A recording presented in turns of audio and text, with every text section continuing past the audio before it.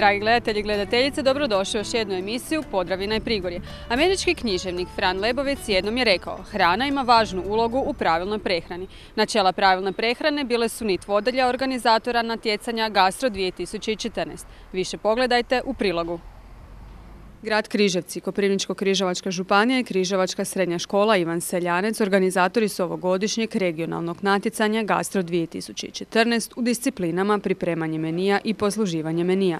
Ovo je natjecanje zapravo jedna stepenica do državnog natjecanja koje organizira Agencija za strukovno obrazovanje i obrazovanje odraslih. Učenici natjecatelji imaju zadane košarice iz koje pripremaju ovoga kompletan meni. Isto tako shodno tome učenici konobari imaju na raspolaganju znači od aperitiva do digestiva koje će izabrati po svojoj želji i znači uskladiti hranu i piće. To je jedna od temeljnih zadaća ovog natjecanja, znači usklađivanje hrane i pića i priprema hrane i pića ovoga prema zadanoj košarici koja je zadana od Agencije za strukovno obrazovanje i obrazovanje odraslih.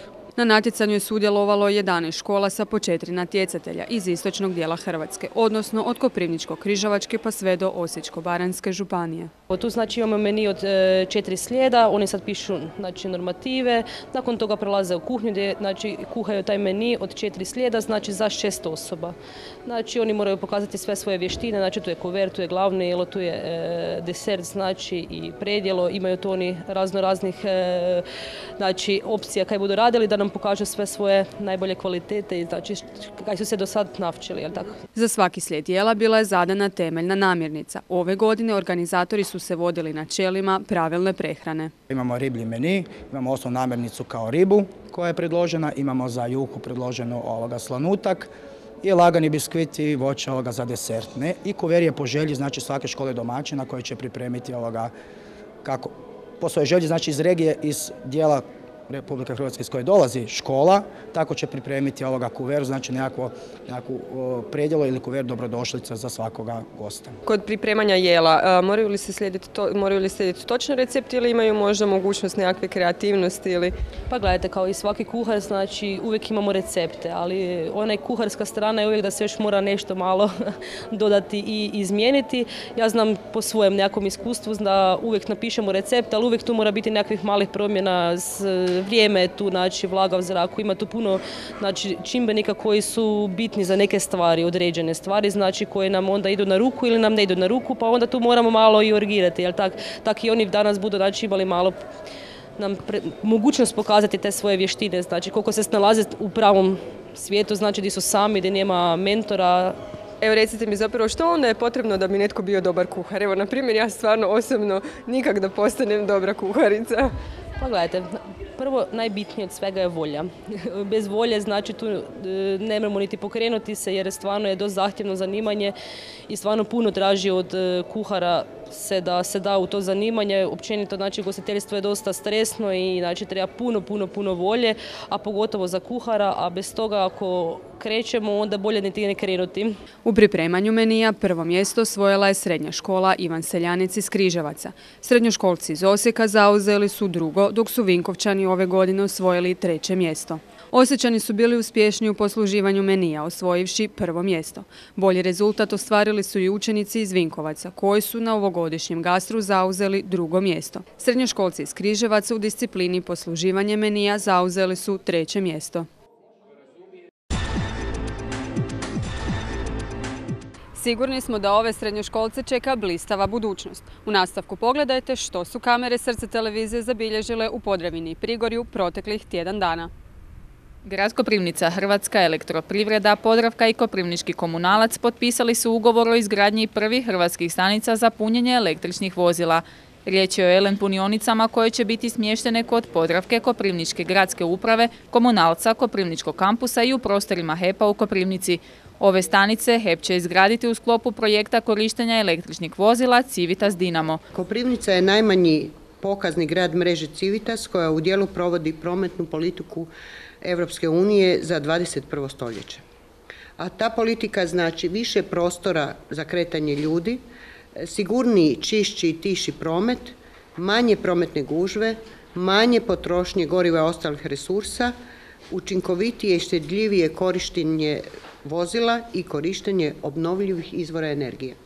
Podravki kao društveno odgovornoj kompaniji je važno da sudjeluje u projektima lokalne zajednice, a posebice dakle projektima koji su sufinancirani i poduprti od strane Europske unije koje utječu na to da se poboljša i poveća kvaliteta života građana lokalne zajednica. Osam automobila koristit će oko 200 korisnika, odnosno djelatnici gradskih poduzeća i ustanova. Za izgradnju koprivničkih punionica HEP će izdvojiti milijuni 700 tisuća kuna.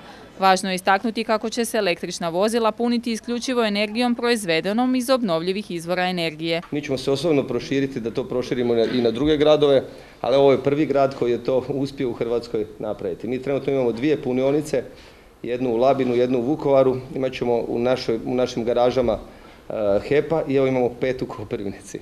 Dakle, lider ste u Hrvatskoj trenutno.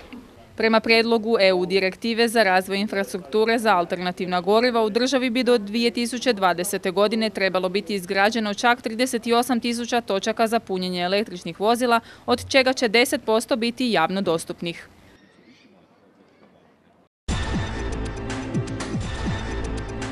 Old Timer klub biciklin iz Koprivnice proslavio je svoj deseti rođendan.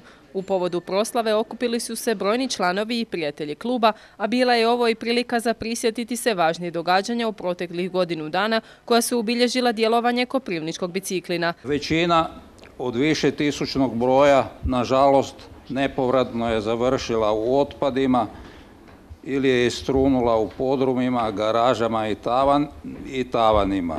Mi kao članovi udruge spasili smo stotinjak dobrih primjeraka tih bicikla da, da oni potpuno, potpuno ne nestanu.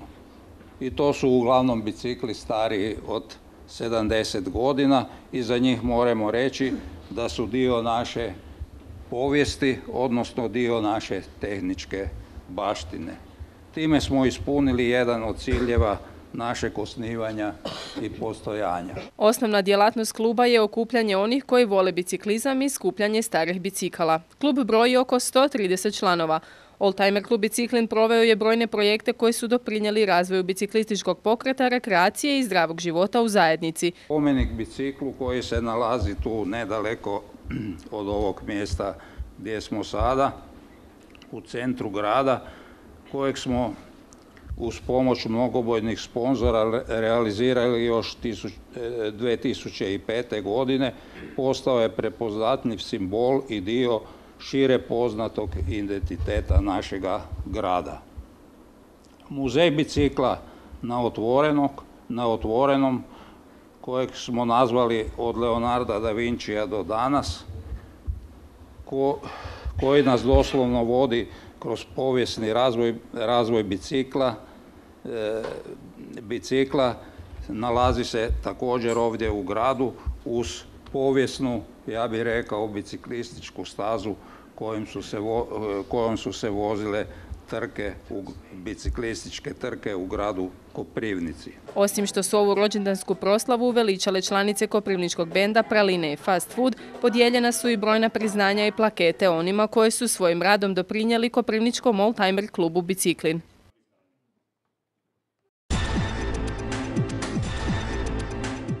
Hrvatski športski ribolovni savez u suradnji s Ribolovnim savezom Koprivničko-križevačke županije u Koprivnici organizirao svečanu podjelu natjecateljskih trofeja u svim kategorijama, najuspješnijim ekipama i pojedincima za 2013. godinu. Znači nam puno zato što je to još jedna potvrda našeg rada u Županijskom ribolovnom savezu, a i jednog novog odnosa prema Športskom ribolovnom savezu Hrvatske, gdje je ova suradnja zaista na najboljem i najvišem nivou. Nije slučajno i nije samo zato što naš savez odlično surađuje sa Hrvatskim športskim ribolovnim savezom, nego je jedan od razloga glavnih što su naši natjecatelji iz naše županije postigli i ove godine izvanredne rezultate e, u svim natjecanjima kojima su sudjelovali.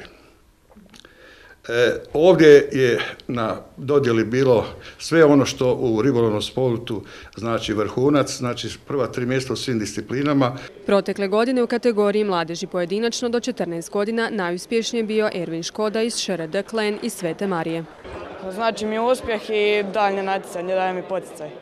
U kategoriji mladeži do 18 godina prvo mjesto osvojio je Dino Hrenaris Šarada Štuka iz Petrinje. Među ribičima do 23 godine u 2013. godini najuspješniji bio Ivan Turković, također član Šarada Štuka iz Petrinje. U 2013. godini u kategoriji seniorki najuspješnija je bila ekipa Šrka Trenje Jagi iz Zagreba, dok je najuspješnija u pojedinačnoj kategoriji bila članica ekipe iz Zagreba Marija Turković. Ribolovom se bavi već 20 godina. Puno mi znači jer ja lovim za reprezentaciju države već 20 godina, a cilj natjecanja, cilj sporta je da pobjedite, je li tako? I to je to.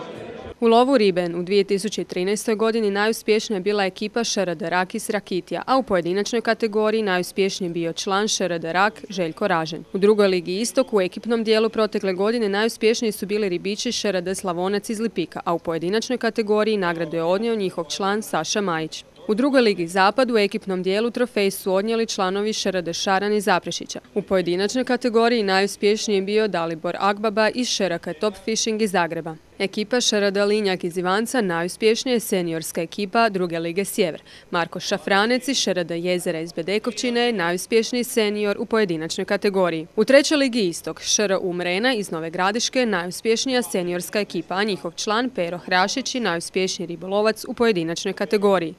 Šrke Sava iz Čitarjeva najuspješnija ekipa, a Franjo Šimunek iz Šrade Amur iz Vrbovca najuspješniji senior u trećoj ligi Zapad. U trećoj ligi Sjever najuspješnija ekipa Šarada Kleni Svete Marije, a njihov član, Kristijan Komorski, je najuspješniji pojedinac. U lovu pasrve prirodnim mamcima 2013. godine najuspješniji je bio u pojedinačnoj kategoriji Saša Borošić iz Šera u Smuđi Siska, dok je njegov klubski kolega Boris Grubić bio najuspješniji u lovu pasrve prirodnim mamcima na jezeru. Boris Šiljek iz Krke iz Knina u protekloj godini bio je najuspješniji u kategoriji lov predatora leptirom. Pa, kao, kao i svakom sportašu, mislim da je svaki uspjeh dobro došao, tako i meni. Pa eto, mislim da je to najveće nešto što možete postići u okvirima naše države. U lovu Šarana u 2013. godini bili su najuspješniji Pave Vukelić i Dalibor Banaj iz Zagreba, a u lovu Pasrvskog Grgeća ekipa Šerada Jezera 1 iz Bedekovčine, a pojedinačno Josip Pecigoš. Ekipa Šerada Cetine 2 iz Sinja najuspješnija je bila u lovu Pastrve Muham, a u pojedinačnoj kategoriji prvo mjesto osvojio Joško Suča iz ekipe Šerada Cetina 1. U kategoriji casting među seniorima najuspješniji je bio Marko Popović iz Čabra, dok je njegov klubski kolega bio najuspješniji u juniorskoj kategoriji. Kod juniorki u 2013. godini najuspješnija je bila Marija Turković, a u kategoriji kadeta Domagoj Dimać oboje iz ekipe Šarada Zelina i Zeline. Elvis Korija novi je trener Koprivničkog prvoligaša Slaven Belupa. Stručnjak iz Pule bio je gotovo jednoglasan izbor cijele uprave, istaknuo je predsjednik kluba Stanislav Biondić. I znajući da je situacija u ovom trenutku recimo i, i teška i specifična, sigurno bilo mi je teško reći ne. Reći ne jer mislim da baš kad su ovakve situacije da treba pokušati tako napraviti, napraviti dobre stvari. Ova godina je takva kakva je i otišla je malo u krivom smjeru i sad je prvenstveno svima nama, posebno na meni i igračima, da pokušamo ovih 13 kola sve napraviti da se, da se spasimo i da zauzmemo tu poziciju koja bi nas ostavila u lizi. Prioritet je prvenstvo, dok će polufinale kupa pokušati odigrati što bolje. Novi trener ističe kako su svi svjesni da neće biti lako. Na igračima je po meni najviše, oni su ti koji su najbitniji. Ovo je specifična ekipa, rekao bi ekipa koja je dosta mlada, ekipa koja ima dosta igrača, rekao bi iz druge lige, ekipa koja ima kvalitetu. I mislim da, da oni jednostavno u ovom trenutku moraju izvući sve najbolje iz sebe, bez obzira na svoju mladost i bez obzira na neke te situacije kakve jesu, dati sve o sebe i izvući zajedno s nama ovu sezonu do kraja. Koprivničkog prvoligaša ovog vikenda čeka teško gostovanje kod Hajduka na Poljudu. Bez obzira što su jaki protivnici, u svaku utakmicu moramo ići hrabro i moramo tražiti bodove jer to tablica od nas traži, zaključuje novi trener. Dosadašnji trener Mladen Frančić klubu farmaceuta vodio je proteklih pet mjeseci. Ukupno je upisao dvije pobjede. Zadnja je bila sredinom listopada. Mladen Frančić u sedam utakmica imao je neriješen rezultat dok je poražen četiri puta.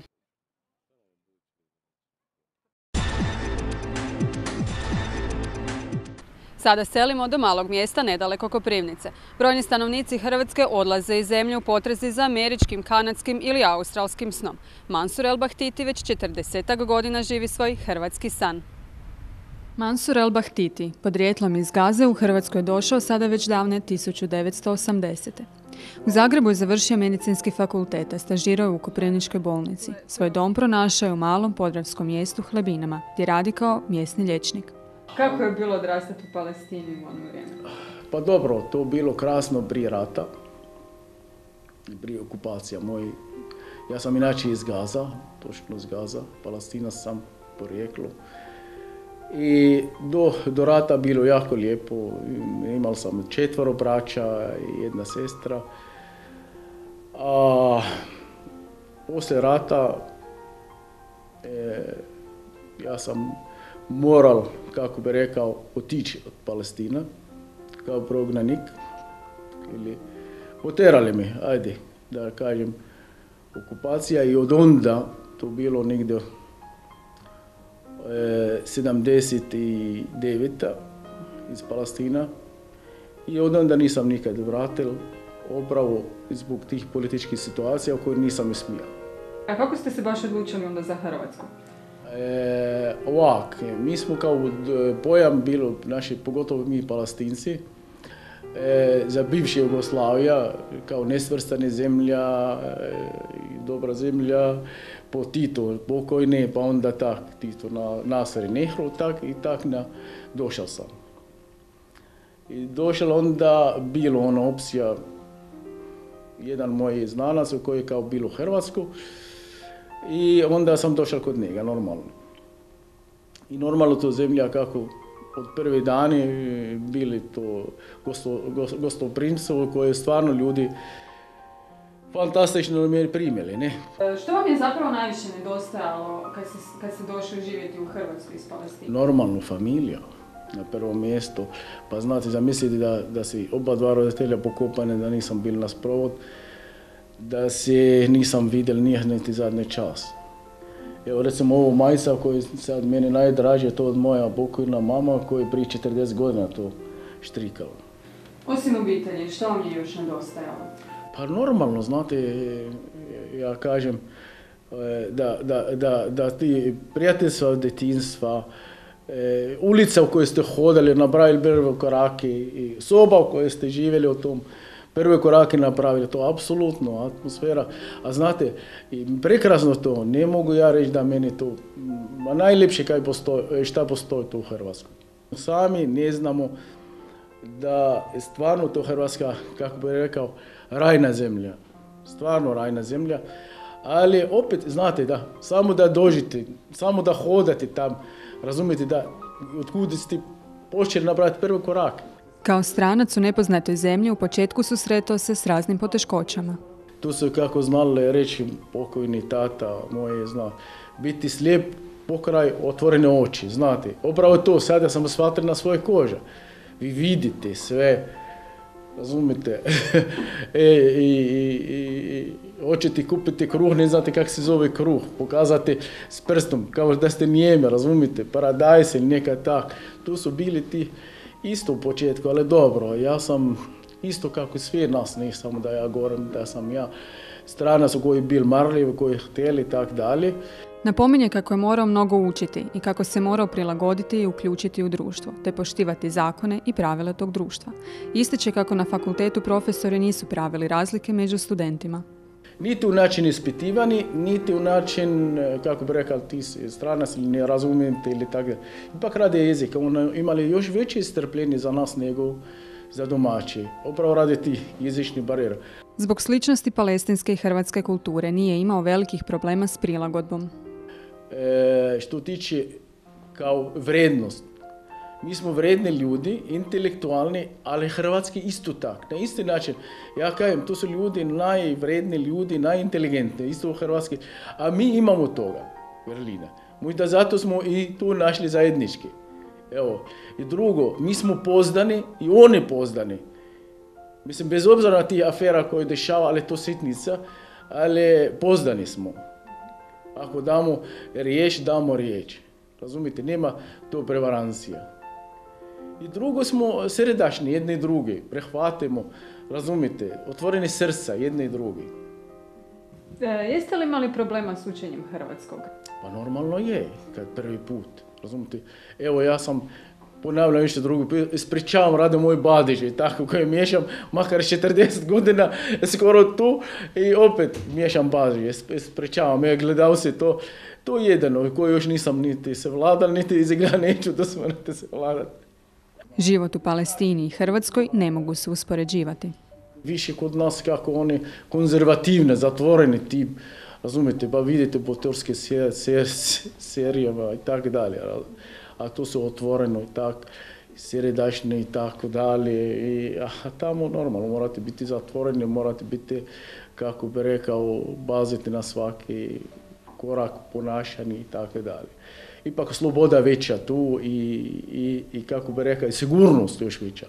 Je vam onda bio problem prilagoditi se sad ipak to malo otvorenijem načinu života? Apsolutno, apsolutno. Treba, trebalo vremena, trebalo malo strpljenja, treba pokoriti sam sebe. Ističe kako Hrvatsku smatra svojom jedinom domovinom i zato. To dok došlo 90 dok počeo taj rat, ja sam bil između prvi. Nije kao raspoređen, nego baš kao dragovolac. I u Bakrasa sam proveo ti prve, između prve, kako bi rekao, kao dragovolac. Zato, zato ja sam baš je smatra, kako bi rekao, kad već moja domovina moral dati, ne za to. Druga domovina, ali to bine u srcu prva, evo. E, kažem, ja sam osjećao dužnost i čas da mi sam se delovalo u tom da si branimo naše domovina. Iako su Hlebine malo mjesto i broja oko 800 stanovnika, broj pacijenata popeo se na 2,5 tisuće. Ističe kako su mu pacijenti obitelj. Zajedno su prošli i lijepe i ružne trenutke, a na raspolaganju im stoji 24 sata na dan. U mjesto je došao kako bi mogao kvalitetnije obavljati liječnički poziv. Ja sam njegov stari pacijent, otkad je došao k nama. Evo, sad zadnja prilika mi je spasio život njegova brzina, njegov dobar poznat moj glas koji me prepoznao po glasu tko zove kad sam imala moždani udar. Spasili su me kad sam imala srčani udar. A onom drugom da ne govorim. Kad god zovem telefonom, kad god dođem, uvijek ljubazan, dobar, pristojan do kraja i nemamo što više reći. Sestra Branka s doktorom radi od kad je došao u Hlebine. Lijepo surađujemo, možete se s njim sve dogovoriti, možete mu se uvijek obratiti ako imate nekakvih dilema, problema. Uglavnom kao tim funkcioniramo dobro. E, imate dvije i pol tisuće pacijenata. Kako vas dvoje sami s tolikim brojem ljudi? Organiziramo se, to je osnovno. E, surađujemo s pacijentima, dosta su susretljivi, možemo s njima dogovoriti kontrolne preglede i tako dogovaramo prijem na telefon, dođu nam put za recepte, uputnice i to. Odakle su vam zapravo svi ti pacijenti? Mislim, Hlebine imaju oko 800 stanovnika, imate 2500 tisuće. Pa dolaze iz okolnih mjesta. Uglavnom, e, ako se ženske udaju i odu za snahe, svoju obitelj upisuju k nama. Ako se muški od žene dopeljaju svoju familiju, tu upisuju se i tako. Imamo dosta ljudi koji ne žive baš na našem terenu, ali su djetinstvom, životom vezani za hlebine ili za taj kraj gdje su odrasli. No pitamo ga, što imaju hlebine, a nema njegova rodna gaza? Imaju prvo naiva, nemaju naiva moje. to je tak, evo, na prvo mjesto. Tak je, ne. Doktor El Bahtiti uz liječničku obavljao je još važnih funkcija. Ja sam predsjednik Crveni križ tu od 90. do 2000. Ja sam bil predsjednik vijeća, općinskih vijeća od dva mandata. U mojim mandata, dva mandata smo mi uvili u hlebinama plin, za moj mandat i moja ekipa koji, kolega koji smo bili u to vijeća, ne, ne, ne moram reći da sam ja sam.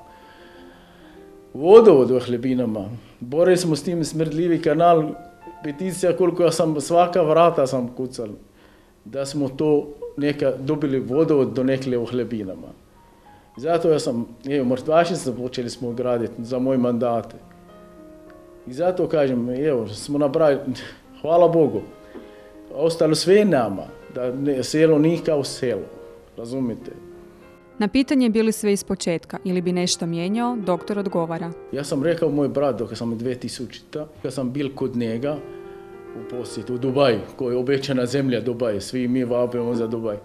Ja sam čak u, u naš jedan razgovor, ja sam rekao, ne bi ti dali cijeli Dubaj za jedan metar hrvatske zemlje. Rajna, još se srdili na mene, još mi rekao da, da do tog granica da se tu otkupili. Onda kako ne bi, ne bi iz početka, opet iz početka došli, ne bi išao ni bilo gdje na svijetu. Simpatični doktor Mansur El Bahtiti najbolji je dokaz kako uz američki postoji i hrvatski san, te kako se upornošću i marljivošću mogu premostiti sve prepreke.